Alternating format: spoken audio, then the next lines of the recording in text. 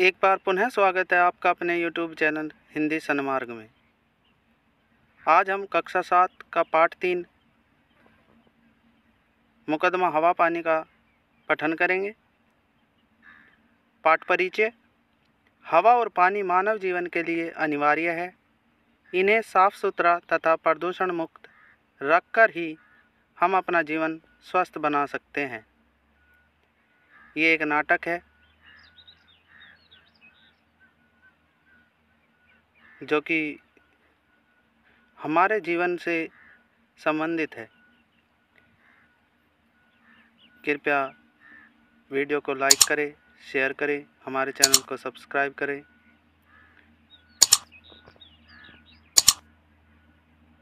जो इसके मुख्य पात्र हैं, महाराज, मंत्री, हवा और पानी बने दो बच्चे, कुछ लोग।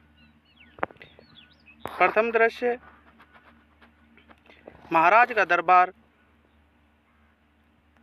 महाराज सिंहासन पर बैठे हैं। एक तरफ़ मंत्री व दरबारीगण बैठे हैं।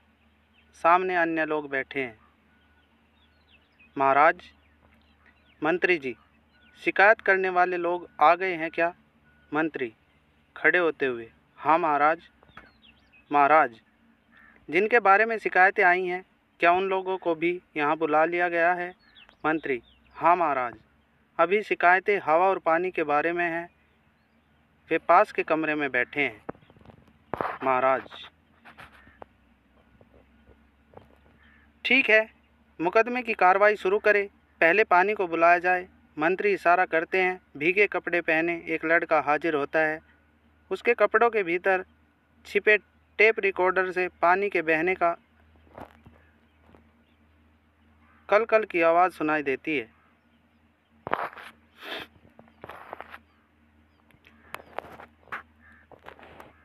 पानी। महाराज की जय हो। महाराज, पानी।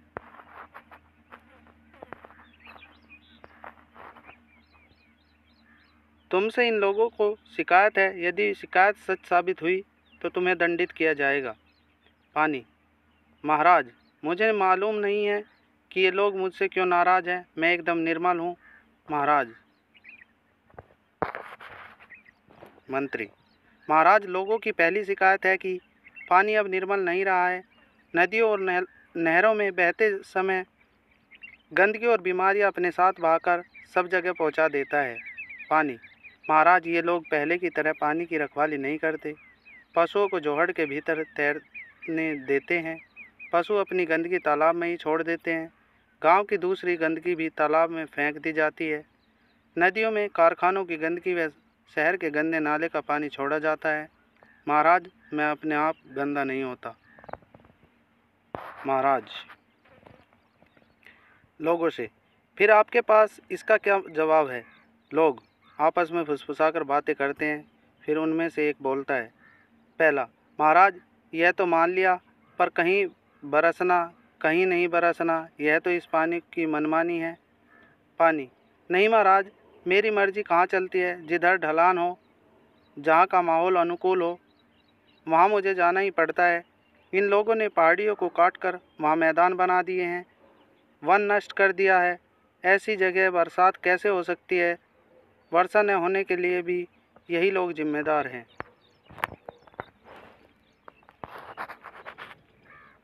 दूसरा, अधिक वर्षा के लिए कौन जिम्मेदार है? पानी। जो बादल बना है, वह तो बरसेगा ही।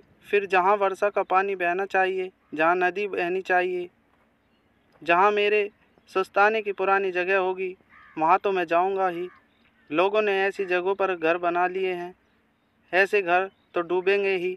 मैं इनकी बनाई गलियों, नालियों में घूमता रहूँ। यह कैसे संभव है? लोग फिर आपस में बात करते हैं। तीसरा महाराज हमारा गाँव सदियों से ऊँची जगह पर बसा हुआ है। हमने नीची जगहों पर कोई घर नहीं बनाया। फिर भी इस बार हमारा गाँव बाढ़ का शिकार हुआ। महाराज पानी आँखें मूंद कर चलता है। पानी। नहीं महाराज मैं देख कर चलता हूँ। तभी तो ढलान की तर, तरफ़ जाता हूँ और कभी भी ऊँची जगह पर चढ़ने की कोशिश नहीं करता हूँ। ये लोग जानते हैं कि इनके गाँव के पास एक पहाड़ है। पहले उस पर बहुत से वृक्ष होते थे। पहाड़ से उतरते समय मैं वृक्षों के बीच में से होकर आता था और सीधे पानी के रास्ते यानी नदी नाले में बहता था। अब लोगों ने पहाड़ से वृक्ष साफ़ कर दिए हैं। मैं वहाँ से उतरता नहीं, बल्कि लुढ़कता हुआ नीचे आता हूँ। मुझे खुद पता नहीं चलता कि नीचे मैं कहाँ गिरूँगा। महाराज, और कोई शिकायत? कोई नहीं बोलता। महाराज, तुम लोगों की चुप्पी इस बात की गवाह है कि तुम सबने भी इन कारणों को मान लिया है।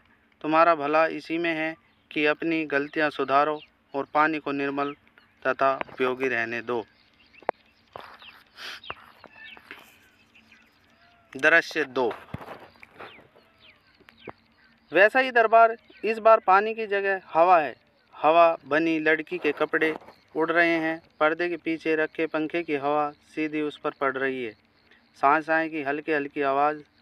महाराज, मंत्री जी, हवा के प्रति लोगों की क्या शिकायतें हैं? एक आदमी आगे आता है। आदमी, महाराज की जय हो। महाराज, आजकल हवा में खुशबू नहीं होती।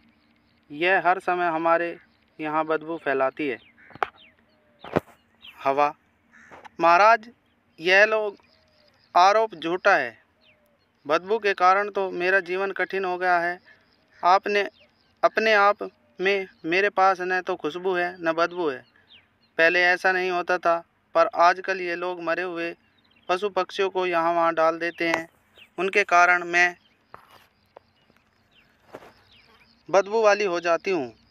इनके कारखानों से निकली गंदगी और गैसें मुझमें घुल जाती हैं और यह बदबू दूर दूर तक फैलती रहती है।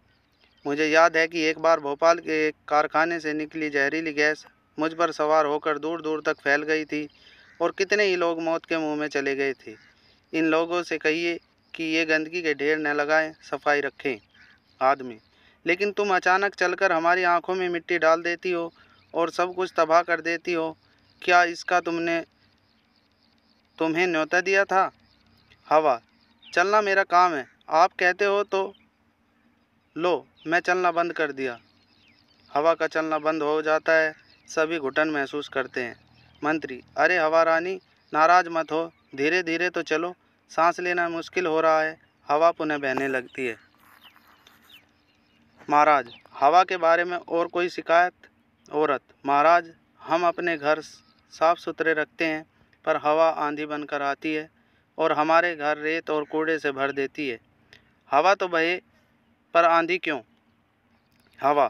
महाराज, आंधी से इनका मतलब मेरे तेज़ चलने से है। वैसे तो मैं हर समय बहती रहती हूँ, पर इन्हें जब गर्मी लगती है तो पंखा चलाकर मेरी गति बढ़ा देते हैं। उसी तरह जहाँ भी हवा कम होती है, मैं तेज़ी से वहाँ जाती हूँ। जब मैं तेज़ी से चलती हूँ तो रेत, मिट्टी, कूड़ा आदि तो भी हल्की चीज़ें मेरे रास्ते में होती हैं, मेरे साथ उड़ने लगती हैं।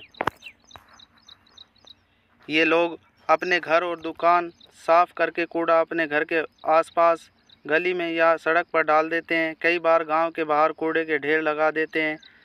इनका फेंका कूड़ा ही वापस इनके घरों में जाता है। महाराज, लोग अपने गाँव या शहर में पॉलीथीन की थैलियाँ सड़कों पर फेंक देते हैं।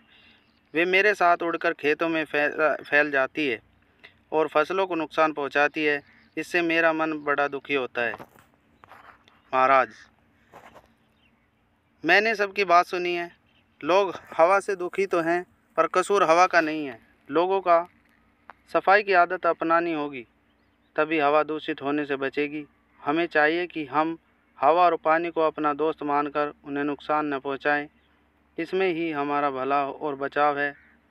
लोग हवा पानी के प्रति दोस्ती का भाव दिखाते हुए चले जाते हैं। ये पाठ गोविंद शर्मा जी द्वारा रचित एक नाटक है। आपको ये वीडियो कैसी लगी? कृपया वीडियो को लाइक करें, शेयर करें, चैनल को सब्सक्राइब करें। धन्यवाद।